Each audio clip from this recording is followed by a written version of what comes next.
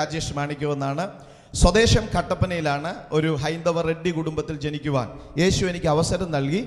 എന്റെ പിതാവ് എന്ന് പറയുന്നത് എന്താ പറയുന്നത് ആന്ധ്രയിലെ ഗുണ്ടൂർ എന്ന് പറയുന്ന സ്ഥലത്ത് എന്റെ പിതാവിന്റെ പിതാക്കന്മാർ അവരുടെ നിങ്ങൾക്കറിയാവുന്നതുപോലെ ബിസിനസ്സുകാരായിരുന്നു.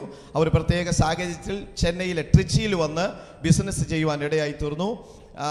അല്പം നല്ല സാഹചര്യമൊക്കെ ആയിരുന്നു ജീവിതങ്ങളിലൊക്കെ. എന്നാൽ എന്റെ പിതാവിന്റെ ഒക്കെ ഫാമിലിയിൽ വലിയ തകർച്ചകൾ നേരിട്ട് അങ്ങനെ അദ്ദേഹം അവിടെ നിന്ന് ഇന്ത്യയ്ക്ക് സ്വാതന്ത്ര്യം കിട്ടുന്നതിന് ഏതാണ്ട് ആ കാലഘട്ടത്തോടനുബന്ധിച്ച് കേരളത്തിലേക്ക് ഓടി വരുവാനിടയായി തീർന്നു.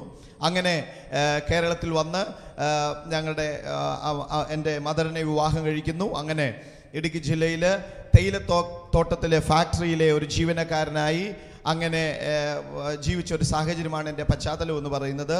വളരെ വളരെ തീഷ്ണമായ വളരെ കഠിനമായ ഹൈന്ദവ വിശ്വാസത്തിലാണ് ഞങ്ങളെ വളർത്തിയതും ഞങ്ങളെ പഠിപ്പിച്ചതുമൊക്കെ ഒരു യഥാസ്ഥിതിക വിശ്വാസ എന്താ പറയുന്നത് അത്രയധികം തീവ്രമായ വിശ്വാസത്തിൽ വളർത്തുവാൻ ഇടയായി തീർന്നു. പക്ഷെ ജീവിതത്തിൽ സ്വസ്ഥതയില്ലായിരുന്നു സമാധാനമില്ലായിരുന്നു ലോകത്തിൽ ഇങ്ങനെ ജീവിപ്പാൻ ഇടയായി തീർന്നു.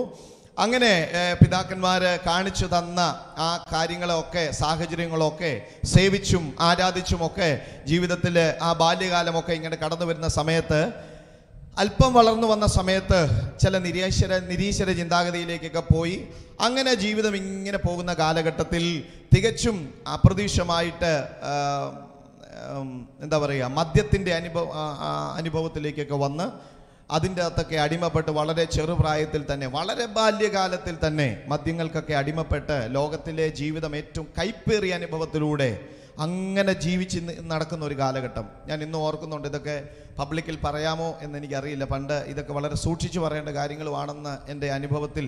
കാരണം നമ്മൾ പറയുന്ന ഈ എന്താ പറയുന്നത് ഈ ശരിയായ അർത്ഥത്തിലല്ല പല തലമുറകളും ഇന്ന് ഇത് എടുക്കുന്നത് കാരണം കഴിഞ്ഞ ദിവസം ഇങ്ങനെ സംസാരിച്ചപ്പോൾ ഒരാളുടെ സാക്ഷ്യം കേട്ടപ്പോൾ വേറൊരാൾ പറയും അപ്പോൾ ഈ പ്രായം വരെയൊക്കെ തല്ലിപൊളിയായിട്ട് നടക്കാം കുഴപ്പമൊന്നുമില്ലോ? പാസ്റ്റങ്ങൾ പറഞ്ഞു കേട്ടല്ലോ. അപ്പോൾ അത് കഴിഞ്ഞല്ലേ ഇതെല്ലാം ചെയ്ത് കഴിഞ്ഞല്ലേ നിങ്ങൾ ഇതിന്റെ അകത്ത് വന്നത്? എന്ന ഒരു ചോദ്യം ഒരു തലമുറയിൽപ്പെട്ട ഈ തലമുറയിൽപ്പെട്ട ഒരു കുഞ്ഞിന്റെ ഭാഗത്തു നിന്നുണ്ടായി. അത് വളരെ ചിന്തിക്കുവാനും ഒക്കെ ഇടയായി തീർന്നു. വളരെ ശ്രദ്ധിക്കുക ഇതൊക്കെ യേശു വരുന്നതിനും യേശുവിനെ കാണുന്നതിനും മുമ്പ് ജീവിതത്തിൽ കടന്നുപോയ ജീവിത സാഹചര്യങ്ങളെക്കുറിച്ചാണ് പറയുന്നത്. ദൈവത്തിന് സ്തോത്രം. ഇന്ന് ഓർക്കുന്നുണ്ട് വളരെ മദ്യപിച്ച് മതോന്മത്തനായിട്ട് ജീവിതം എറിഞ്ഞു കളഞ്ഞ എന്താ പറയുന്ന പൊട്ടിപ്പോയ പാത്രം പോലെ പ്രതീക്ഷയില്ലാതെ പ്രത്യാശയില്ലാതെ ഇങ്ങനെ ജീവിച്ച് ജീവിച്ച് ജീവിച്ച് ഇങ്ങനെ ജീവിക്കുന്ന കാലഘട്ടം. അങ്ങനെ അത് യൗവനത്തിലേക്ക് വന്നു വിദ്യാഭ്യാസം തകർന്നു യു പി സ്കൂൾ തലത്തിന്റെ അപ്പുറത്തേക്ക് പോലും പഠനം പോകുവാൻ കഴിയാതെ ആ തകർന്നിരിക്കുന്ന ഒരു സാഹചര്യത്തിൽ ഒരു പ്രത്യേക സാഹചര്യത്തിൽ എന്റെ ദേശത്ത് എനിക്ക് അല്പമല്ലാത്തൊരു പ്രശ്നമുണ്ടായി. ഞാൻ അതിന്റെ ആഴമായ അനുഭവത്തിലേക്കൊന്നും പോകാൻ താല്പര്യപ്പെടുന്നില്ല. അങ്ങനെ പ്രശ്നമുണ്ടായിട്ട് അവിടെ നിന്ന് നാട്ടിൽ നിന്ന് അല്പം മാറി ഓടിപ്പോകേണ്ട ഒരു സാഹചര്യം എനിക്കുണ്ടായി. അങ്ങനെ ഓടി കോട്ടയത്ത് ഇറഞ്ഞാൽ എന്ന് പറയുന്ന സ്ഥലത്ത് നിങ്ങൾക്കറിയാവുന്നതുപോലെ ഇറഞ്ഞാൽ എന്ന് പറയുന്ന സ്ഥലത്ത് അവിടെ ഒരു വർക്ക്ഷോപ്പിൽ ഒരു വെൽഡറായിട്ട് ഞാൻ ജോലി ചെയ്തിരുന്ന ഒരു കാലഘട്ടം. അപ്പോൾ അവിടെയുള്ളതെല്ലാം ശക്തരായ അല്ലെങ്കിൽ എന്താ പറയുന്നത് ഭയങ്കര കഠിനമായ ഹൈന്ദവ വിശ്വാസികളാണ് അതിന്റെ ആ ആ ആ- സ്ഥാപനം നടത്തുന്ന ഉടമ വർക്ക് ചെയ്യുന്നവരൊക്കെ അങ്ങനെയുള്ള ആളുകൾ. ഒരു ക്രിസ്ത്യൻ പോലും അതിന്റെ അകത്തില്ല.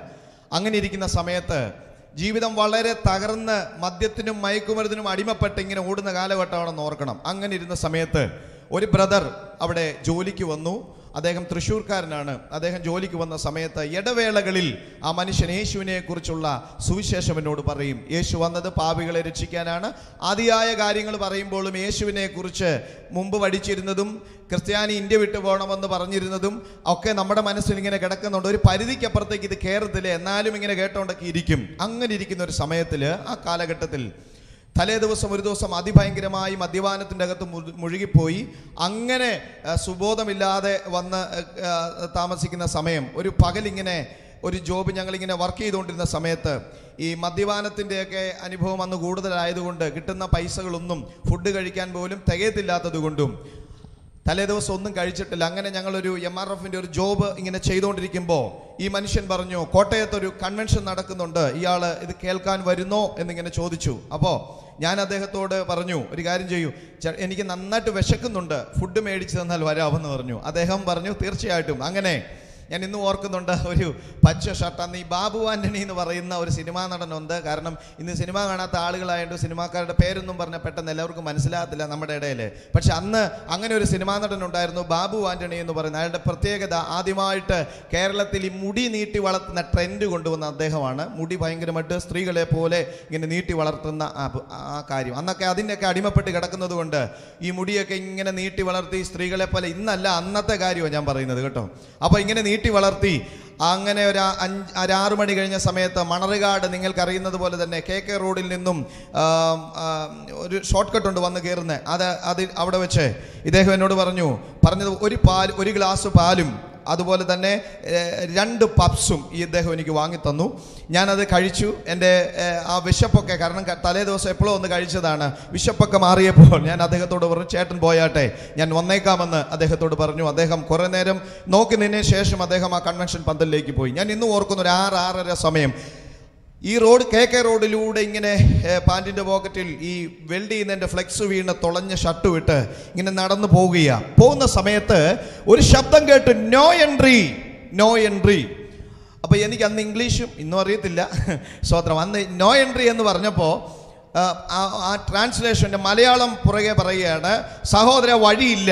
ഞാൻ അവിടെ പെട്ടെന്ന് നിൽപ്പാനിടയായി. കാരണം തൊട്ട് താഴെ സ്കൂൾ ഗ്രൗണ്ടിലാണ് ഈ മീറ്റിംഗ് നടക്കുന്നത്. ഞാൻ എത്തി നോക്കിയപ്പോൾ വെള്ള ഷർട്ട് ഇട്ട ഒരു ഉപദേശി ഒരു പ്രായമുള്ള മനുഷ്യൻ കൈവിരിച്ച് ഇങ്ങനെ താഴെ നിൽപ്പുണ്ട്. അവ്യക്തമായിട്ട് കാണാം.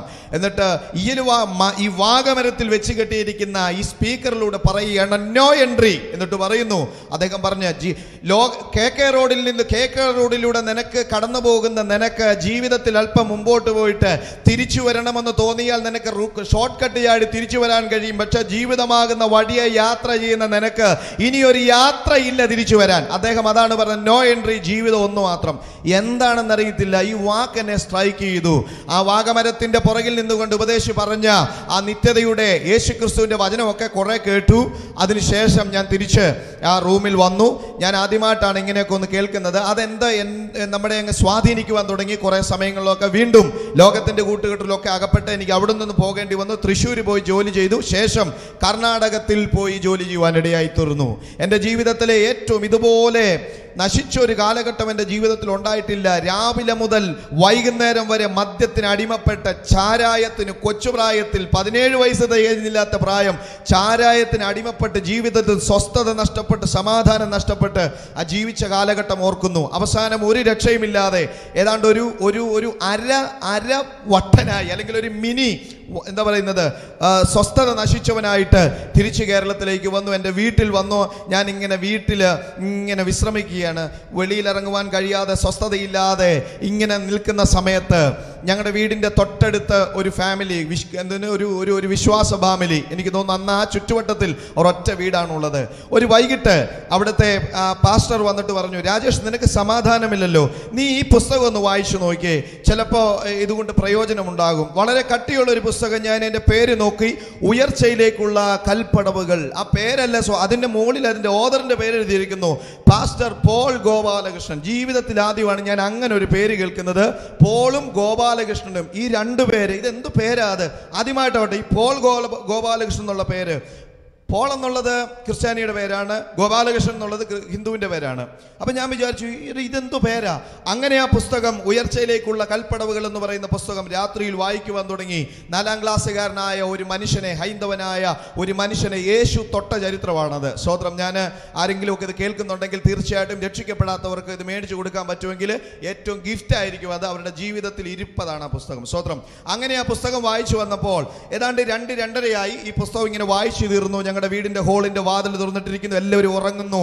അന്ന് രാത്രിയിൽ എന്താണെന്നറിയില്ല. ഈ പുസ്തകം വായിച്ചപ്പോൾ അതുവരെ ഇല്ലാത്ത ഒരു മാനസിക വ്യഥയോ ഭയമോ ഫീ എനിക്കറിയില്ല. ഒരു വല്ലാത്ത സാഹചര്യമാണ് കടന്നു വരുന്നത്. ഇപ്പോഴും ഓർക്കുന്നു ഫ്രീസറിനെ അകത്തേക്കാൾ തണുത്ത തറയിലേക്ക് മുഴങ്കാലും അടുക്കി. രക്ഷ എന്താണെന്നോ മാനസാന്തരം എന്താണെന്നോ അറിയില്ല. അതിന്റെ അകത്തുനിന്ന് വായിച്ച ചില കാര്യമാണ് കേട്ടോ. പെട്ടെന്ന് ഉള്ളിൽ പറഞ്ഞു അവിടെ ഇരുന്ന് കരയുവാൻ തുടങ്ങി മുട്ടയെ കുത്തിയിരുന്നു എന്തിനാണെന്ന് അറിയില്ല കുറേ കരഞ്ഞപ്പോൾ ആശ്വാസം ഹൃദയത്തിനുണ്ടായി. അന്ന് രാത്രിയിൽ ആരുമില്ല ഒരു മനുഷ്യനും പോലും ഇല്ലാതെ യേശുവിനോട് പറഞ്ഞു കർത്താവേ ഞാൻ പാപി കാരണം മുമ്പ് ഞാൻ ഇങ്ങനെ വചനം കേട്ട ഒന്ന് രണ്ട് സാഹചര്യം എന്റെ ഉള്ളിൽ കിടപ്പുണ്ടല്ലോ. ഞാൻ യേശുവിനോട് ഇങ്ങനെ പറവാനിടയായി ഞാൻ പാവിയാണ് എന്റെ ജീവിതത്തിലേക്ക് വരണമെന്ന് പറഞ്ഞ് ആ സബ്മി സബ്മിറ്റ് ചെയ്ത ആ രാത്രി അഭൗമികമായ ലോകത്തിന് തരാൻ കഴിയാത്ത ഒരു വലിയ സന്തോഷം എന്റെ ജീവിതത്തിൽ അനുഭവിക്കാൻ ഇടയായി കാരണം രക്ഷയുടെ സന്തോഷം സന്തോഷം എന്നൊക്കെ പറയുന്നത് പലപ്പോഴും ഇതാണെന്നുള്ളത് എനിക്ക് അന്ന് മനസ്സിലാകുവാനിടയായി. അങ്ങനെ ഞാൻ ഈ കർത്താവിനെ അറിയുവാനിടയായി അങ്ങനെ വീണ്ടും അങ്ങനെ ജീവിക്കുകയാണ്. ആരും അറിയാതെ അവർ തന്നെ പുറഞ്ചട്ട കീറി ഒരു പഴയ ബൈബിൾ എനിക്ക് തന്നു വായിക്കാൻ. എല്ലാ വീട്ടിലെല്ലാവരും ഉറങ്ങുമ്പോൾ രാത്രി ഇരുന്ന് ബൈബിൾ വായിക്കും. എല്ലാവരും ഉറങ്ങുന്ന സമയത്ത് ബൈബിളുമായിട്ട് വരും. ബൈബിൾ ഒരു ഹരമായി മാറി. ബൈബിൾ ഒരു ആവേശമായി മാറി. ദൈവവചനം വായിച്ചിങ്ങ് വന്നപ്പോൾ ഒരു ഭാഗത്ത് കണ്ടു മദ്യപാനി ദൈവരാജ്യം അവകാശമാക്കത്തില്ല. അപ്പം ഞാൻ ബൈബിൾ വായന നിർത്തി. ചോദ്യം ഇതാണ് ഈ കുടിക്കുന്ന സ്നേഹിതന്മാരിൽ അവിടുത്തെ ബാറുകളിലും ഏലത്തോട്ടത്തിലും ഒക്കെ പോയിരുന്ന് മദ്യപിക്കുന്ന സഹോദരങ്ങളിൽ അധികം കുടിക്കുന്നത് എന്താ പറയുന്നത് ക്രിസ്ത്യാനിയുടെ കൂടെ ഇരുന്ന. എന്നെ ചിന്തിപ്പിച്ച ചോദ്യമാണ് കാരണം എനിക്ക് ആഴമായിട്ട് അറിയാം. എന്താണ് ക്രിസ്ത്യാനിത്വം എന്നോ എന്താണെന്നോ ബൈബിളൊന്നും എനിക്കറിയില്ല. ഏറ്റവും കുടിച്ചുകൊണ്ടിരിക്കുന്നത് ബേബിച്ചന്റെ കൂടെയും എന്താ പറയുക പേര് ഞാൻ പറയാൻ ആഗ്രഹിക്കുന്നില്ല. ഇങ്ങനെയുള്ള ആളുകളുടെ കൂടെയാണ് പോയിരുന്നു കുടിക്കുന്നത്. എന്റെ ചോദ്യം അങ്ങനെയാണെങ്കിൽ ക്രിസ്ത്യാനിയുടെ മതഗ്രന്ഥത്തിന്റെ അകത്ത് മദ്യപാനി ദൈവരാജ്യം അവകാശമാക്കത്തില്ലെന്ന് എഴുതിയിട്ടുണ്ടെങ്കിൽ ഇതെങ്ങനെയാണ് ശരിയാകുന്നത്? ആരാണ് ക്രിസ്ത്യാനി? എന്റെ ഹൃദയത്തിലെ മെതിച്ച ചോദ്യമാണ്. ആ സമയത്തൊന്നും അതിന് മറുപടി കിട്ടിയില്ല. എങ്കിലും വീണ്ടും ആ ദിവസങ്ങളിലെ വായന തടസ്സപ്പെട്ട് ബൈബിൾ വായിച്ചപ്പോൾ യോഹന്നാന്റെ സുവിശേഷം ആ ദിവസങ്ങളിൽ വായിച്ചപ്പോൾ ഒരു വലിയ വാതായനം ഒരു വാതിൽ തുറക്കുന്ന ഒരു വചനമാണ് ഒന്നാം അധ്യായത്തിൽ. അവനെ കൈക്കൊണ്ട് അവന്റെ നാമത്തിൽ വിശ്വസിക്കുന്ന ഏവർക്കും ദൈവമക്കളാകുവാൻ അധികാരം കൊടുത്തു. അത് കൊടുത്തത് മതമല്ല മനുഷ്യനല്ല എന്നുള്ള ബോധ്യം അന്നുണ്ടായി. ഒന്ന് അവനെ കൈക്കൊള്ളണം അവന്റെ നാമത്തിൽ വിശ്വസിക്കുന്ന ഏവർക്കും ക്രിസ്ത്യനാകുവാനുള്ള അധികാരം. അന്നാണ് യഥാർത്ഥത്തിൽ മനസ്സിലായത് ചാക്കോച്ചനുമല്ല പെണ്ണമ്മയുമല്ല അവറാച്ചനുമല്ല ഇവരാരുമല്ല. അവനെ കൈക്കൊള്ളുന്ന കൃഷ്ണൻകുട്ടിക്കും അവനെ കൈക്കൊള്ളുന്ന ജാഫറിനും അവനെ കൈക്കൊള്ളുന്ന രാജേഷ് മാണിക്യത്തിനും ക്രിസ്ത്യാനിയാകുവാൻ കഴിയുമെന്നുള്ള ബോധ്യം. ക്രിസ്ത്യാനി എന്ന് പറയുന്നത് ലേവൽ കൊണ്ട് ഒതുങ്ങുന്നതല്ല മറിച്ച് യേശു ജീവിതത്തിൽ വരുമ്പോഴാണ് ജീവിതത്തിന് മാറ്റമുണ്ടാകുമ്പോഴാണ് ക്രിസ്തു ജീവിതത്തിൽ ജീവിക്കുമ്പോഴാണ് ക്രിസ്ത്യാനി എന്നുള്ള പദത്തിന് യോഗ്യെന്നുള്ള ഒരു അസാധാരണമായ വെളിപ്പാട് അന്ന് രാത്രിയിൽ ദൈവാത്മാവ് എന്റെ ഉള്ളിൽ പ്രകാശിപ്പാൻ ഇടയായി തീർന്നു ഏറ്റവും ചിന്തിക്കേണ്ട ഒരു കാര്യം അന്ന് ഒരു പാസ്റ്റർമാരുമായിട്ടോ ഒരു അച്ഛന്മാരുമായിട്ടോ ഒരു സുവിശേഷകനുമായിട്ടോ ബന്ധമില്ല. അന്നാകെയുള്ള സുഹൃത്ത് എന്ന് പറയുന്നത് വിശുദ്ധ വേദപുസ്തകമാണ്. സ്വത്രം അതിങ്ങനെ വായിക്കും. അങ്ങനെ വായിച്ചു വായിച്ചു വായിച്ചു വന്നപ്പോൾ കർത്താവിന്റെ പ്ലാൻ വെളിപ്പെടുത്തി. എന്താ പറയുന്നത്? വലിയ ലോക സംഭവങ്ങളെക്കുറിച്ചുള്ള ദർശനങ്ങൾ രാഷ്ട്രീയ സംഭവങ്ങളെക്കുറിച്ചുള്ള ദർശനങ്ങൾ ദൈവാത്മാവ് സ്വപ്നത്തിൽ തരുവാനിടയായി. ഞാൻ അതിലേക്ക് പോകാൻ ആഗ്രഹിക്കുന്നില്ല. അടുത്ത ചോദ്യം എന്ത് അന്ന് ഞാൻ ഷോപ്പ് നടത്തുന്നുണ്ട്. എന്ത് ചെയ്യണമെന്നാണ് ദൈവത്തോട് ചോദ്യം. എന്ത് ചെയ്യണം? എന്ത് ചെയ്യണം? അങ്ങനെ ഇരുന്ന സമയത്ത് ദൈവം ഒരു വചനം ഇടപെട്ടു. അങ്ങനെ ആ വചനത്തിലൂടെ ദൈവത്തിന്റെ വചനം ഈ വചനം പറയണമെന്നുള്ളത് ഭയങ്കര ആവേശമായിരുന്നു. അന്നും ഇന്നും ഏറ്റവും ഇഷ്ടപ്പെട്ട ജോലി എന്ന് പറയുന്നത് പരസ്യമായിട്ട് യേശുവിനെ പ്രസംഗിക്കാനാ. സ്വത്രം അധികം തിയോളജി ഒന്നുമില്ല പക്ഷെങ്കിൽ യേശു രക്ഷകനാണ്. യേശുവിലൂടെ അല്ലാതെ രക്ഷപ്പെടാൻ പറ്റത്തില്ല. സ്വത്രം അന്നും ഇന്നും ഇത് പറയാൻ ആഗ്രഹിക്കുന്നത് കൊണ്ട് ഇത് പറയണമെന്നുള്ള ആവേശമായി ആഗ്രഹമായി അങ്ങനെ നിന്ന് നിന്ന് നിന്ന് ദൈവചനം പഠിക്കണമെന്നുള്ള ആവേശം വന്നു. ഞാൻ അത് പേര് പറയാൻ ആഗ്രഹിക്കുന്നില്ല. ഇന്ത്യയിലെ ഏറ്റവും അന്ന് പ്രസിദ്ധനായ ഒരു ദൈവദാസൻ പേര് പറയത്തില്ല കേട്ടോ. ഏറ്റവും പ്രസിദ്ധനായ ദേവിദാസൻ കട്ടപ്പനയിലെ പഴയ സ്റ്റാൻഡിൽ വന്ന് പ്രസംഗിക്കാൻ നിൽക്കുന്നു. അപ്പോൾ അദ്ദേഹം ഇങ്ങനെ പ്രസംഗിച്ചുകൊണ്ട് നിൽക്കുന്ന സമയത്ത് എന്റെ ഉള്ളിൽ ആഗ്രഹം ലിജോ പാസ്റ്റേ ഒന്ന് ഒരു ബൈബിൾ കോളേജിൽ പഠിക്കാനുള്ള അവസരം ചോദിക്കണം. അങ്ങനെ നിൽക്കുന്നു. ലൈനിന്റെ ഏറ്റവും പുറകിൽ ഇങ്ങനെ നിൽക്കുന്ന സമയത്ത് ഓരോരുത്തരെ പ്രാർത്ഥിച്ച് പ്രാർത്ഥിച്ച് അവസാനം ഞാനും അവിടെ എത്തി.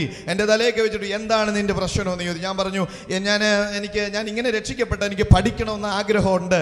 എനിക്കൊരു അവസരം തരണമെന്ന് പറഞ്ഞപ്പോൾ അപ്പം എന്റെ തലയിലോട്ട് കൈവച്ച് അങ്ങോട്ട് മാറ്റിയിട്ട് ചോദിച്ചു എന്താ നിന്റെ വിദ്യാഭ്യാസം? എന്റെ വിദ്യാഭ്യാസം പറഞ്ഞപ്പോൾ പറഞ്ഞു തുറന്നു പറയാം നാലാം ക്ലാസ്സുകാരനെ എന്താ പറയുന്നത്? ഇന്ന അവിടെ എടുക്കുമായിരിക്കും അവരോട് പോയി ചോദിക്കാൻ പറഞ്ഞു. ഓ ഭയങ്കര വേദന. അപ്പോഴേ എനിക്ക് മനസ്സിലായത് ദൈവവേല ചെയ്യാൻ ഈ കാലത്ത് ദൈവവിളി മാത്രം പോരാ വിദ്യാഭ്യാസവും വേണമെന്ന് അപ്പോഴാണ് മനസ്സിലായത്. പക്ഷെങ്കിൽ വിളിയുള്ളവന് വിദ്യാഭ്യാസം ഇല്ലേലും ദൈവത്തിന്റെ ആത്മ ഉപയോഗിക്കുമെന്ന് അത് പിന്നീട് വെളിപ്പെട്ട സത്യം. അത് പോകട്ടെ. അങ്ങനെ വളരെ വേദനയോടെ ആ പടിക്കെട്ട് ഇങ്ങനെ കയറി അങ്ങ് പോയി. സ്വത്രം തിരിഞ്ഞു നോക്കിയപ്പോൾ അങ്ങനെ നിയോൾ ബൾബിന്റെ വെളിച്ചത്തിൽ ഇങ്ങനെ പ്രാർത്ഥനകൾ നടക്കുന്നു. കണ്ണുനീർ കണ്ണുനീര് ദൂർത്തെറിഞ്ഞു പോയപ്പോ ദൈവാത്മാവ് പറഞ്ഞു സ്വോത്രം ആർക്കും തരാത്ത പഠനം ഞാൻ നിനക്ക് തരും. സ്വോത്രം ആർക്കും അയക്കാത്തടത്ത് നിന്നെ ഞാൻ അയക്കും. ഐ വിൽ ബ്ലസ് യു സ്വോത്രം ഇന്നൊക്കെ ഇപ്പോഴാണ് കേട്ടോ ഇതൊക്കെ ഇങ്ങനെ പറയാൻ പോലും പഠിച്ചത്. ദൈവത്തിന് സ്വോത്രം സ്വോത്രം ആകെ അറിയാവുന്നത് സ്വോത്രം ഒറ്റ ഒറ്റ- വാക്കേ ഉള്ളൂ. ഐ ഡോണ്ട് നോ അങ്ങനെയാണല്ലോ തുടങ്ങുന്നത്. പോട്ടെ അങ്ങനെ ദൈവവചനം പഠിക്കണമെന്ന് ആഗ്രഹമുണ്ടായി. അങ്ങനെ കൃപയാൽ സ്വോത്രം പാസ്റ്റർ പോൾ സാറിനോട് എന്നും കടംപെട്ടവരാണ് ഞാൻ എപ്പോഴും കടംപെട്ട ഒരു ഒരു മനുഷ്യനാണ് പാസ്റ്റർ പോൾ സാറിനോട്. അദ്ദേഹവുമായിട്ട് സംസാരിച്ചു എന്നെ സ്നാനപ്പെടുത്താമെന്ന് ഏറ്റു. അങ്ങനെ സ്നാനപ്പെട്ട ഞാൻ സ്നാനപ്പെട്ടു തിരിച്ചു ചെന്നു. ബൈബിൾ പഠിക്കണമെന്നുള്ള ആഗ്രഹം അതിശക്തമായി. പഠിക്കണം പഠിക്കണം യേശുവിനെ പറയണം. അതൊരാവേ അതൊരു ആവേശമല്ല. ഊണിലും ഉറക്കത്തിലും ഒറ്റ ചിന്തയാണ് യേശുവിനെ പറയണം. എങ്ങനെയെങ്കിലും ഈ രക്ഷകനെ കുറിച്ച് പറയണം. അങ്ങനെ നിൽക്കുന്ന സമയത്താണ് തിരുവല്ലയിൽ ഒരു ഒരു പാഠശാലയിൽ എന്നെ പഠിപ്പിക്കാൻ വന്നിട്ട് മലയാളം മീഡിയം സ്വത്രം അപ്പോൾ ഇവിടുന്ന് പോവുകയാണ്. ഒത്തിരി റെക്കമെൻഡ് ഒക്കെ വന്നുകൊണ്ടാണ് എന്നെ അന്ന് അവിടെ പഠിപ്പിക്കാമെന്ന് ഏറ്റത് അങ്ങനെ സാറ് തന്ന അഡ്രസ്സോട് കൂടി അതൊക്കെ ഭയങ്കരമായിട്ട് അവിടുന്ന് ഇറങ്ങി വന്ന സാഹചര്യം. എന്റെ ജീവിതത്തിൽ ഒത്തിരി അത്ഭുതങ്ങൾ കണ്ടിട്ടുണ്ട്. മുഴ മാറുന്നത് യേശു സൗ യേശു സൗഖ്യമാക്കുന്നത് ഒക്കെ കണ്ടിട്ടുണ്ട്. പക്ഷേ എന്റെ ജീവിതത്തിൽ ഞാൻ കണ്ട ഏറ്റവും വലിയ അത്ഭുതം എന്താണെന്ന് ചോദിച്ചു കഴിഞ്ഞാൽ ഞാൻ ബൈബിൾ കോളേജിൽ പോകാൻ വേണ്ടി രാവിലെ ഇങ്ങനെ നിൽക്കുക.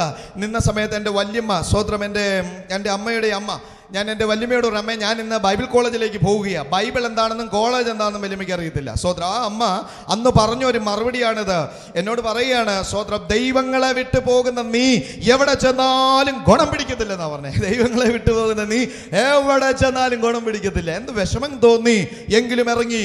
സോത്രം കർത്താവിനോട് അന്ന് പറഞ്ഞ യേശുവിനോട് ഷീഫ ടെക്സ്റ്റൈൽസ് എന്ന് പറയുന്ന ഒരു തുണിക്കടയുണ്ട്. കട്ടപ്പനയിൽ നിങ്ങൾക്ക് അവിടെ പോയിട്ടുള്ളവർക്ക് അറിയാം അതിന്റെ അകത്ത് നിന്ന് ആ തുണിക്കടയിലെ ആ കൂടിന്റെ അകത്ത് പഴയ ഒന്ന് രണ്ട് എന്താ പറയുന്നത് പാന്റല്ല വെള്ളമുണ്ടും ഷർട്ടും ഒക്കെ ഇട്ട് പഴയ പിഞ്ചി തുടങ്ങിയത്. ഇറങ്ങാൻ തുടങ്ങിയ പേശപ്പയോട് പറഞ്ഞപ്പോൾ എനിക്കൊരു ഒരു ഒരു ഒരു പെട്ടി തന്നിരുന്നെങ്കിൽ കൊള്ളായിരുന്നു എന്നിങ്ങനെ ദൈവത്തോട് ഇങ്ങനെ വീട്ടിൽ നിന്ന് പറയുക. ഒരു അഞ്ച് മിനിറ്റ് കഴിഞ്ഞ് കാണും. ഒരാൾ മുകളിൽ നിന്ന് വിളിക്കുന്നു എന്നെ. ഈ ബൈബിൾ എനിക്ക് തന്നയാൾ വിളിച്ചിട്ട് പറയുന്നു രാജേഷ് ദൈവാത്മാവ് ഒരു പെട്ടി തരുവാൻ നിന്നെ എനിക്ക് പ്രേരണ തരുന്നു എന്ന് പറഞ്ഞ് ഇന്ന് ഓർക്കുന്നുണ്ട്. വി ഐ പിയുടെ ഒരു പെട്ടി ഇന്നും അത് സൂക്ഷിച്ചിട്ടുണ്ട്.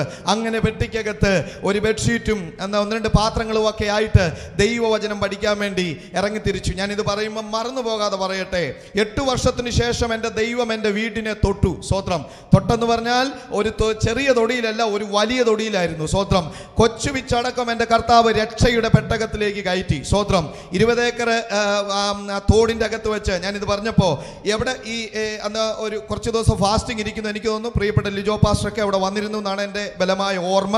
ആ സ്നാനപ്പെട്ട സമയത്ത് ആ, ഞാനാണ് എന്റെ പാസ്റ്റർ പറഞ്ഞു അത് നീ ചെയ്താൽ മതി എന്ന് പറഞ്ഞ് സ്നാനപ്പെടാൻ വേണ്ടി നിൽക്കുമ്പോൾ ആദ്യം ഇറങ്ങി വന്നത് എന്റെ വല്യമ്മയാണ് ഏതാണ്? എവിടെ പോയാലും ഗുണം പിടിക്കത്തില്ലെന്ന്. ഞാൻ ഇന്ന് ഓർക്കുന്നുണ്ട് ജീവിതത്തിൽ ആദ്യമാണ് പച്ചവെള്ളത്തിൽ ഇറങ്ങുന്നത്. കാരണം ഇടുക്കിയിലൊക്കെ മിക്കവാറും ഇപ്പം കഥ മാറി ചൂടുവെള്ളത്തിൽ ആളുകൾ കുടിക്കുന്നത്. ഇങ്ങനെ ഫ്രീസറിനേക്കാൾ തണുത്ത വെള്ളത്തിലേക്ക് മുക്കി അങ്ങ് പൊക്കിയപ്പോൾ തല ഉയർത്തിയിട്ട് ഈ അമ്മ ഒരു പദം പറഞ്ഞു അല്ലേ ലൂയ അവിടെ നിന്നോട് ഞാൻ ഓർത്ത് എട്ട് വർഷത്തിന് മുമ്പ് ഈ കൈ ഉയർത്തിയിട്ട് അല്ലേ പറഞ്ഞത്? എവിടെ പോയാലും എന്താ ചെയ്യത്തില്ല.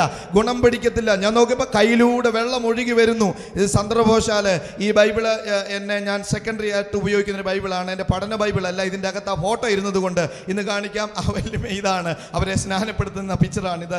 സന്ദർഭവശാൽ ഇവിടെ വന്നുകൊണ്ട് മാത്രം പറഞ്ഞു എന്ന് മാത്രം. പോകട്ടെ. രക്ഷിക്കപ്പെട്ടു സ്നാനപ്പെട്ടു. എന്റെ കുടുംബങ്ങൾ മുഴുവൻ ദൈവകൃപയിലേക്ക് വന്നു. അങ്ങനെ ദൈവവചനം പഠിക്കുവാൻ വേണ്ടി പോയി. ഈ പഠനം കഴിഞ്ഞുള്ള കാലഘട്ടത്തിലെ സംഭവമാകട്ടോ ഞാൻ നിങ്ങളോട് പറഞ്ഞത്. അങ്ങനെ ദൈവവചനം പഠിച്ചു. കേരളത്തിലെ പഠനമൊക്കെ കഴിഞ്ഞു. വീണ്ടും വചനം പഠിക്കണമെന്ന് വളരെയധികം ആഗ്രഹം ഉണ്ടായി ദൈവത്തിന്റെ സ്വോത്രം അങ്ങനെ നിൽക്കുന്ന സമയത്താണ് എവിടെ പഠിക്കണമെന്ന് എനിക്കറിയത്തില്ല. അങ്ങനെ നിൽക്കുന്ന സമയത്ത് ദൈവത്തിന്റെ ആത്മാവ് പറഞ്ഞു ഗ്രേസിൽ ബൈബിൾ കോളേജിൽ പോയി ദൈവവചനം പഠിക്കണമെന്ന് സ്തോത്രം പറഞ്ഞു. ഗ്രേസ് ബൈബിൾ കോളേജിൽ. എനിക്ക് കൃത്യമായിട്ട് അറിയാം. കാരണം പോൾ സാറൊക്കെ അതിന്റെ പിമ്പിൽ ഒത്തിരി പ്രാർത്ഥിച്ചിട്ടുണ്ട്. അങ്ങനെ പോകണമെന്ന് പറഞ്ഞപ്പോൾ ഞാൻ ഇന്നും ഓർക്കുന്നു ഇന്നത്തെ ചർച്ച് ഓഫ് ഗോഡിന്റെ കർത്താവിന്റെ ദാസൻ ഓവർസീർ ആയിരിക്കുന്ന പാസ സി സി തോമസ് സാർ ഒരിക്കലും മറക്കുവാൻ കഴിയാത്ത ആത്മീക ഗുരുക്കന്മാരിൽ ഒരാളാണ് അദ്ദേഹം. നമ്മുടെ ഓരോ വളർച്ചയിലും അദ്ദേഹത്തിന്റെ അനുഗ്രഹങ്ങളും അദ്ദേഹത്തിന്റെ എന്താ പറയുന്നത് നമ്മളെ കരുതുമൊക്കെ ഇന്ന് ഓർക്കുന്നു. അങ്ങനെ ഗ്രേസിലേക്ക് പോയപ്പോൾ അദ്ദേഹം ഒരുപാട് എന്നെ ഹെൽപ്പ് ചെയ്തു പോകുവാനും പഠിക്കുവാനും ഒക്കെ. അങ്ങനെ മലയാളം പോലും ശരിക്കും എഴുതുവാൻ എഴുതുവാനും വായിക്കുവാനും അറിയാതെ ഗ്രേസ് ബൈബിൾ കോളേജിൽ പോകുവാനിടയായി. അവിടെ പഠിച്ചു. പഠിക്കുവാൻ തുടങ്ങി. ഏതാണ്ട് അറുപത്തിയെട്ട് ദിവസം കൊണ്ട് English A B C D മുതൽ പഠിക്കുവാൻ കർത്താവ് എനിക്ക് അവസരം നൽകി. എന്റെ ജീവിതത്തിലെ ഏറ്റവും വിലപ്പെട്ട പദവിയായിട്ട് ഞാനത് നടന്നു ഡൽഹി മെട്രോയുടെ പണി നടക്കുമ്പോൾ എന്റെ ഒരു സ്നേഹിതന്റെ കൂടെ ആ ഒരു ബൈക്കിന് അടിയിലൂടെ യാത്ര ചെയ്യുമ്പോൾ എന്ത് ചെയ്യും എങ്ങനെ പറയുമെന്ന് അറിയാതെ ഭാരപ്പെട്ടപ്പോൾ ഏതോ ഒരു ഭാഗത്തെത്തിയപ്പോൾ മെട്രോയുടെ പണി നടക്കുക. അവിടെ ചെന്നപ്പോൾ ദൈവാത്മാവന്റെ ഉള്ളിൽ ഇടപെട്ട ഒരു വാക്യമുണ്ട്. എന്താണെന്നറിയാമോ? ഇട ദൈവം തിരഞ്ഞെടുത്തവന്റെ വടി പന്ത്രണ്ട് ഒറ്റ രാത്രി കൊണ്ട് തളിർത്തു പൂത്തു ഫലം കായ്ച്ചു. ഉള്ളിൽ ദൈവാത്മാവ് ഒരു ചോദ്യം ചോദിച്ചു ഒരു മരം വെച്ച് തളിർത്ത് പൂത്ത് ഫലം കായ്ക്കണമെങ്കിൽ എത്ര വർഷം വേണ്ടി വരും? ഏറ്റവും കുറഞ്ഞത് ഒരു മൂന്ന് വർഷം. എത്ര എന്താ പറയുന്നത്? ബഡ്ഡ എന്ന് പറഞ്ഞു മേടിച്ചു വെച്ചാലും മൂന്ന് വർഷം കഴിയാതെ ഉണ്ടാകില്ല. അപ്പൊ ദൈവാത്മാവ് എന്റെ ഹൃദയത്തിൽ ബലപ്പെടുത്തി ഞാനാണ് തിരഞ്ഞെടുത്തതെങ്കിൽ ഞാനാണ് അയച്ചതെങ്കിൽ ഡോണ്ട് വരി നീ ഭാരപ്പെടേണ്ട പ്രയാസപ്പെടേണ്ട ദുഃഖിക്കേണ്ട സങ്കടപ്പെടേണ്ട. ദൈവമാണ് തിരഞ്ഞെടുത്തതെങ്കിൽ മൂന്ന് വർഷം കൊണ്ട് ദൈവത്തിന് ലോകപ്രകാരം നടക്കേണ്ടത് പന്ത്രണ്ട് മണിക്കൂർ കൊണ്ട് നടക്കുമെന്നുള്ള ബോധ്യം എനിക്ക് നൽകി അങ്ങനെയാണ് പഠിക്കാൻ വേണ്ടി ചെല്ലുന്നത്. എഴുപത്തിരണ്ട് ദിവസം കൊണ്ട് എ ബി സി ഡി മുതൽ എഴുതാനും വായിക്കാനും കർത്താവിന്റെ കൃപയാൽ ദൈവാത്മാവ് പഠിപ്പിപ്പാൻ ഇടയായി തീർന്നു. ദൈവത്തിന് സ്തോത്രം. അന്നെ ഏറ്റവും അധികം എന്നെ ഹെൽപ്പ് ചെയ്ത ഒരു ദൈവദാസനാണ് കർത്താവിന്റെ ദാസൻ ലിജോ പാസ്റ്റർ. സ്പിരിച്വൽ വാർഫെയറിന്റെ അകത്തെ ആർമർ ഓഫ് ഗോഡ് ഞാൻ ഇന്ന് ഓർക്കുന്നുണ്ട്. ദൈവത്തിന്റെ സർവായുധ വർഗം എന്ന് പറയുന്ന അദ്ദേഹത്തിന്റെ ടോപ്പ് ഒരു മെസ്സേജ് ഉണ്ട്. സ്തോത്രം. ആ മെസ്സേജ് എനിക്ക് തോന്നുന്നു ഏറ്റവും കൂടുതൽ ട്രാൻസ്ലേഷൻ ചെയ്യുവാൻ ഞങ്ങൾക്ക് വിൽഡർനെസ്സിൽ പോയിട്ട് പ്രാക്ടീസ് ചെയ്യുവാൻ ദൈവം അവസരങ്ങൾ നൽകി അതെല്ലാം ഓർത്ത് ദൈവത്തെ മഹത്വപ്പെടുത്തുകയും ദൈവത്തെ സ്തുതിക്കുകയും ചെയ്യുന്നു. എന്ന് വേണ്ട ദൈവത്തിന്റെ വചനം പഠിക്കുവാനും തിരിച്ച് കേരളത്തിൽ വരുവാനും ദൈവത്തിന്റെ പരിശുദ്ധാത്മാവ് കൃപ നൽകുവാൻ ഇടയായി തീർന്നു മാറ്റമില്ലാത്ത ദൈവത്തിന്റെ വചനം അങ്ങോളം ഇങ്ങോളം പറയുവാൻ യേശു കർത്താവ് ജീവിതത്തിൽ അവസരങ്ങൾ നൽകി. എന്നാൽ ഏറ്റവും അധികം നമ്മെ നമ്മൾ ചെയ്യേണ്ട നമ്മളെ സന്തോഷിപ്പിക്കുന്ന ഒരു കാര്യമെന്ന് പറയുന്നത് സുവിശേഷം പറയുന്ന കാര്യത്തിൽ നാം ഒട്ടും പുറകോട്ട് നിൽക്കരുത്. അതിന്റെ കാരണം എന്താണെന്നറിയാമോ? സ്വത്രം സുവിശേഷം പറയേണ്ടതാകുന്നു. ഞാൻ ഇന്നും ഓർക്കുന്നുണ്ട് സുവിശേഷ വേലയിൽ യേശു ക്രിസ്തു വന്നാൽ ഒരു മനുഷ്യന് അസാധാരണമായ മാറ്റം ഉണ്ടാകുന്നത്. സ്വത്രം യേശു ഒരുത്തന്റെ ജീവിതത്തിൽ വന്നാൽ എനിക്ക് തോന്നുന്നു തിമത്തിയോസിന് എഴുതിയ ലേഖനം പറയുന്നുണ്ട് വിശ്വസിച്ചവരിൽ താൻ അതിശയ വിഷയമാകുമെന്നാണ് യേശുവിനെ കുറിച്ച് പറയുന്നത്. യേശു ഒരു മനുഷ്യന്റെ ജീവിതത്തിൽ വന്നാൽ അവനൊരു അതിശയ വിഷയമാകും. എന്നെ അത്ഭുതപ്പെടുത്തിയത് ഈ പഠനമെല്ലാം കഴിഞ്ഞതിന് ശേഷം സോളാ സ്വത്രം കേരളത്തിൽ കേരളത്തിന് വെളിയിൽ ഒരു സ്ഥലത്ത് ഒരു മീറ്റിങ്ങിന് വേണ്ടി കർത്താവിന്റെ ആത്മാവ് അയക്കുവാൻ തക്കവണ്ണം ഇടയായി. അപ്പോൾ ഒരു സാക്ഷ്യമായതുകൊണ്ടാണ് കേട്ടോ ഇത് പറയുന്നത്. അങ്ങനെ ആ മീറ്റിങ്ങിന് വേണ്ടി അയച്ച സമയത്ത് ആ മീറ്റിംഗ് എല്ലാം കഴിഞ്ഞ് അതിന്റെ ലാസ്റ്റ് ഡേ ഒരു ത്രേ ഡേയ്സിന്റെ അവസാന ദിവസം ഒരു അവിടെ എനിക്ക് തോന്നുന്നു ഒരു ബൈബിൾ കോളേജിലെ കുറേ സ്റ്റുഡൻസ് ഉണ്ട് കുറച്ച് അധ്യാപകർ വന്നിട്ടുണ്ട്. അപ്പോൾ അവിടുത്തെ പാസ്റ്റർ ഇങ്ങനെ അടുത്ത് വന്നിട്ട് വളരെ രഹസ്യമായിട്ട് പറഞ്ഞു ഈ ഈ വെള്ളിയാഴ്ച നിങ്ങളൊരു എന്തെങ്കിലും ഒരു സബ്ജക്റ്റിനെ ആധാരമാക്കിയിട്ട് ഒരു ക്ലാസ് എടുക്കേണ്ടിയിരിക്കുന്നു. അങ്ങനെ പറയുന്ന സമയത്ത് ഈ ഈ- യോഗം തുടങ്ങി. അന്ന് ഉച്ചയ്ക്ക് എനിക്ക് തോന്നുന്നു ഒരുപാട് സ്റ്റുഡൻസ് അവിടെയുണ്ട്. ഒരുപാട് ടീച്ചേഴ്സ് നിങ്ങൾ ഇരിക്കുന്നത് പോലെ ഒരുപാട് ടീച്ചേഴ്സ് വന്നിരിക്കുന്നു. നല്ല നല്ല എഡ്യൂക്കേറ്റഡ് ആയിട്ടുള്ള നല്ല എന്താ പറയുന്നത് ഒരുപാട് ടീച്ചേഴ്സ് ഉണ്ട് സ്റ്റുഡൻസ് ഉണ്ട്. അപ്പം ഞാൻ പെട്ടെന്ന് ഈ കാര്യം ഓർത്തു. എന്താണെന്നറിയാമോ ഈ പഠിപ്പിച്ചുകൊണ്ട് ഇങ്ങനെ ഒരു വിഷയം ഇങ്ങനെ പറഞ്ഞുകൊണ്ടിരുന്നപ്പോൾ ഓർത്ത് പണ്ട് കട്ടപ്പനയിൽ വെച്ച് എനിക്കൊരു ബൈബിൾ കോളേജിൽ പഠിക്കാൻ ഒരു അവസരം തരുമോ എന്ന് ചോദിച്ച ചരിത്രം ഞാൻ ഓർത്തു. സന്ദർഭവശാൽ പറയട്ടെ അന്ന് ആത്മീയാത്രക്കാരോട് പോയി പഠിക്കുവാൻ അവസരം പറഞ്ഞ അതേ സംഘടനയാണ് ഇവിടെ ആ മീറ്റിംഗ് നടത്തുന്നത്. അതേ സംഘടനയിലെ ആളാണ് അദ്ദേഹത്തിന് അന്ന് അവിടെ വരാൻ കഴിഞ്ഞില്ല എന്ന് എന്നോട് അങ്ങനെ പറഞ്ഞ ആൾ. സ്വത്രം അവിടെ അവസാന ദിവസത്തെ ക്ലാസ്സിൽ ഈ സാക്ഷ്യം പറഞ്ഞു. ഇങ്ങനെ പഠിക്കുവാൻ ഒരു അവസരം ചോദിച്ചു അന്ന് ലഭിച്ചില്ല. പിന്നീട് വന്ന കാര്യങ്ങളെ കുറിച്ചൊക്കെ ഏറ്റവും അധികം ദൈവത്തിന്റെ പരിശുദ്ധാത്മാവിന്റെ അഹ്, അനുഗ്രഹം ഇറങ്ങിയ ഒരു മീറ്റിംഗ് ആയിരുന്നു അത്. ഞാൻ പറഞ്ഞത് ഇത്രയേ ഉള്ളൂ. ദൈവത്തിന്റെ പരിശുദ്ധാത്മാവിന് നാം വിധേയപ്പെടുമ്പോൾ നാം എവിടെ നിരാശപ്പെടുന്നോ എവിടെ സങ്കടപ്പെടുന്നോ എവിടെ തലകുനിക്കുന്നോ അവിടെ ദൈവത്തിന്റെ പ്രവൃത്തി ദൈവത്തിന്റെ പരിശുദ്ധാത്മാവ് നമ്മളിലൂടെ ചെയ്യുവാൻ തക്ക ഇടയായി തീരും ഞാൻ എന്റെ വാക്ക് ഇങ്ങനെ ഉപസംഹരിക്കട്ടെ. കർത്താവിന്റെ കൃപയാൽ കർത്താവ് അനുഗ്രഹിച്ചു. എല്ലാ നിലയിലും എല്ലാ മേഖലയിലും ദൈവത്തിന്റെ മാന്യതകളും അനുഗ്രഹങ്ങളും ഉണ്ടായി.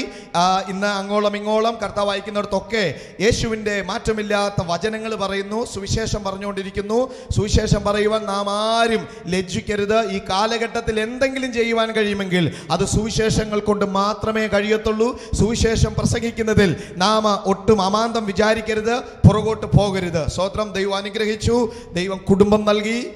ഭാര്യയുണ്ട് മൂന്ന് മക്കളുണ്ട്. പിന്നെ ഇപ്പോൾ പുല്ലാട് താമസിക്കുന്നു. ചാരിമോട് ചർച്ച് ഓഫ് ഗോഡിലെ ചർച്ച് ഓഫ് ഗോഡിന്റെ ചർച്ചിലെ പാസ്റ്ററായിട്ട് സേവനമനുഷ്ഠിക്കുന്നു. ഇതൊക്കെയാണ് എന്റെ ജീവിതത്തിൽ യേശു എനിക്ക് വേണ്ടി ചെയ്ത അത്ഭുതമെന്ന് പറയുന്നത്. കർത്താവ് ജീവിതത്തിൽ ചെയ്ത അത്ഭുതങ്ങൾ ഒരുപാടുണ്ട്. എന്നാൽ തൽക്കാലം ഞാൻ എന്റെ വാക്കിൽ നിന്നൊക്കെ വിരമിക്കുവാൻ ആഗ്രഹിക്കുന്നു. യേശുവിന് വേണ്ടി നിൽക്കുക യേശുവിന് വേണ്ടി പ്രസംഗിക്കുക യേശുവിന്റെ നാമത്തിൽ പോകുക യേശു നമ്മെ അതിശയ വിഷയമാക്കും പ്രത്യേകിച്ച് ഇങ്ങനെ ഒരു അവസരം തന്ന കർത്താവിന്റെ ദാസൻ ബഹുമാനപ്പെട്ട ലിജോ പാസ്റ്റർക്കുള്ള നന്ദിയെ അറിയിക്കുന്നു. പ്രത്യേകിച്ച് എല്ലാ സഹോദരി സഹോദരന്മാർക്കും സ്നേഹവന്ദനം പറയുന്നു. കർത്താവ് നമ്മെ സമൃദ്ധിയായി അനുഗ്രഹിക്കുമാറാകട്ടെ. ആമേൻ.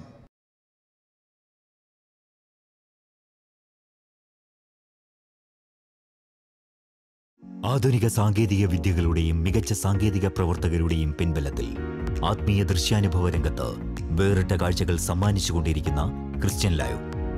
ഇന്ത്യയിൽ എവിടെ നിന്നും ലൈവ് ടെലികാസ്റ്റിംഗിന് ആരംഭം കുറിച്ചിരിക്കുന്നു. സുവിശേഷ മഹായോഗങ്ങൾ ക്രൂസൈഡുകൾ മ്യൂസിക്കൽ പ്രോഗ്രാമുകൾ തുടങ്ങി കുടുംബവിശേഷങ്ങൾ വരെ ലൈവ് ടെലികാസ്റ്റിലൂടെ ലോക Malayali സമൂഹങ്ങളിലേക്ക്. Christian live W W dot Christian live